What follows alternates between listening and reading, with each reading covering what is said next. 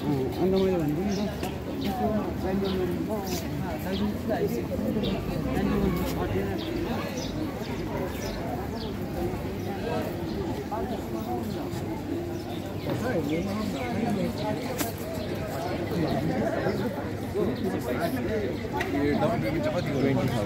मैले दिएको थिएँ।